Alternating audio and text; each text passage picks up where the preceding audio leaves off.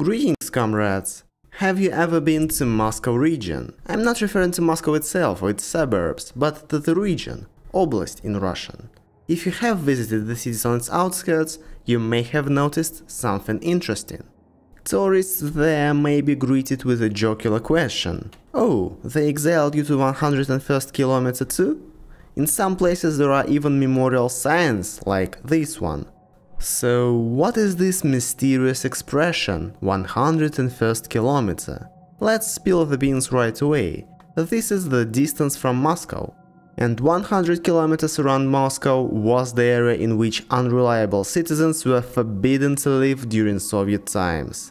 Those people who still wanted to live closer to the capital settled right outside this zone, at the 101st kilometer.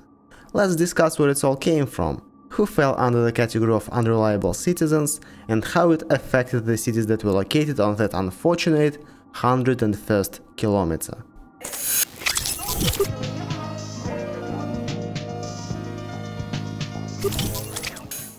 I want to make two things clear. First, 100 kilometers is a rather relative thing. For example, the town of Balabanovo, which was a popular relocation site, is only 96 kilometers from Moscow, while Petushki, another classic one, is 117. Nevertheless, they both qualify for our topic today. Second, such zones existed not only around Moscow. They were also placed around the capitals of Soviet republics, large cities, St. Petersburg, Novosibirsk, Kharkov, around closed and secret cities. The zone around Moscow was just the most obvious and most clearly delineated one. But first, let's talk about where this phenomenon came from. Even the English Wikipedia knows about it, but it mentions that it was an exclusively Soviet phenomenon. Of course, this is not true.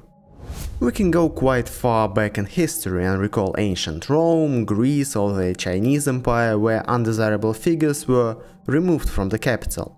In particular, recall the trial of Socrates, one of the punishment options for the great philosopher was banishment from Athens. Socrates, however, chose poison. Ovid, on the other hand, was not as radical and calmly agreed to move from Rome to Constanza. Thus, such exiles and banishments have been around since ancient times. If we are talking about Russia and the USSR, then such punishment was applied in Russia even before it became not only the USSR but the Russian Empire. Under the Tsars, there was quite an official measure of punishment, with prohibition of residence in and then variation. Moscow and St. Petersburg, provincial cities, the European part of the country, and so on. But back then it was a judicial or administrative but individual punishment for those particularly guilty. It was often combined with criminal punishment, serve your time and then go to exile. It was not some method of creating a buffer zone free of the plebs. But there was another thing that could be compared to Kilometer 101. Namely, the Pale of Settlement, invented by Catherine the Great, the boundary of the territory beyond which Jews were forbidden to reside permanently, except for the most prominent ones. The difference was that this zone was not created around any capital, but just on the outskirts of the empire. The Soviet authorities of course could not ignore such a good idea. And so, after the revolution, the first inhabitants of this area away from the capitals were, of course, counter-revolutionary elements. Well, more precisely, the most active ones were naturally shot, persons of average activity were put in jail, and the more harmless ones were simply exiled according to the 58th article of the Criminal Code. Such convicts were not allowed to settle within 100 kilometers of Moscow, Leningrad and other big cities. This measure was later extended to family members of the detainees. As a rule, such deportation was for at least 5 years. Sometimes a prison term was given first, and after release a ban on settling near large cities. Just like in Russian Empire, but in a much more extensive way. Thus, from 1921 to 1953, more than 3 million citizens were deprived of the right of residence in Moscow, Leningrad, Kiev, Minsk and other capitals and large cities, as well as in closed and port cities Sevastopol, Odessa, Dnipropetrovsk, Vladivostok. In addition to the political ones, recidivists and other criminal convicts were deported to 101st kilometer too, usually after serving their sentences in a penal colony. Of course, the contingent of these towns was not limited to these two categories. After the war, they began to exile people who were social parasites, those who were for some reason not officially employed. For example, lived off their own subsistence farming. Mentally ill people, people with disabilities and other citizens who could not justify their unemployment often got this punishment too. In exile, they were compulsorily involved in socially useful labor, most often in manufacturing. For example, the Nobel laureate Joseph Brodsky, you probably know him. In 1964 he was prosecuted under the parasitism article and sentenced to 5 years of forced labor. They didn't give him any credit for being a poet. True, he was exiled far away from the capital, much farther than 100 kilometers to the Arkhangelsk village of Norenskaya. Another Nobel laureate, Andrei Sakharov, was also deprived of the opportunity to visit the capital in 1980.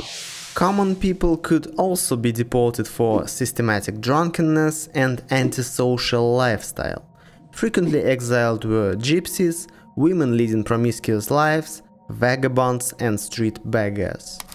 But by far the most epic moment associated with this concept was the 1980s Olympics. Although similar tactics have been used during other major events. The celebration of the 800th anniversary of Moscow in 1947, the Youth Festival in 1957 and so on. So the Olympics are being organized in Moscow. The whole world will be watching the event. We need to show the Soviet Union in its best light. How can we achieve that? How about clearing the streets of everything that doesn't fit into the ideal Soviet picture of the world? Everything and everyone. Nice.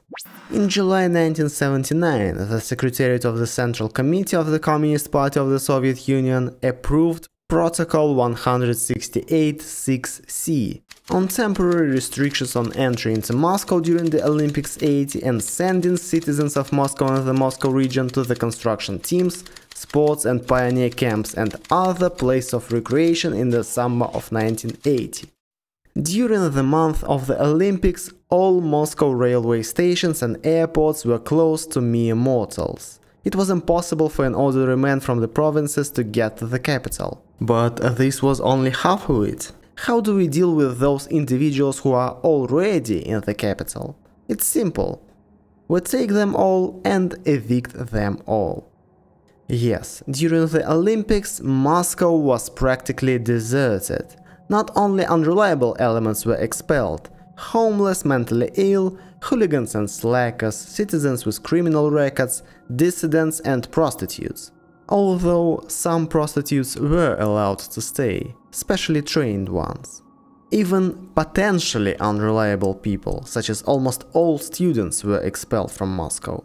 If the students were officially sent to the countryside for practical training, then people from the first categories were simply caught on the streets, put into buses and transported beyond the 101st kilometer. Remember that the passenger trains back to Moscow were cancelled. What a brilliant plan! By the way, they said that in 208, Beijing repeated this story and removed almost 2 million people from the capital for a month. As a result, a whole circle of very curious towns was formed around the Russian capital. Alexandrov, Kolomna, Shatura, Zaraisk, Ruza, Mozhaisk, Dubna, Stupino. On the one hand, intelligentsia lived in them, exiled to these places for their cultural and political views. They were exiled, but continued to work diligently. On the other hand, these places were populated by blatantly asocial and criminal elements, released from prison but not allowed back into decent society. They didn't really want to work and live peacefully. All of this created a zone around the capital and other major cities, with the specific marginal criminal contingent, socialist ghetto, so to speak. Which is why the 1960s and 70s saw periodic outbreaks of anti-police riots and pogroms there. Today, however, these towns are mostly populated by the grandchildren of the people who were exiled there, So the differences between these towns and other settlements of the Moscow region have become somewhat blurred. Therefore, I want to believe that 101st kilometer will remain just a half-forgotten thing of the recent past. Although, from time to time, the State Duma comes up with ideas to revive this beautiful tradition. So far, fortunately, these ideas have been rejected.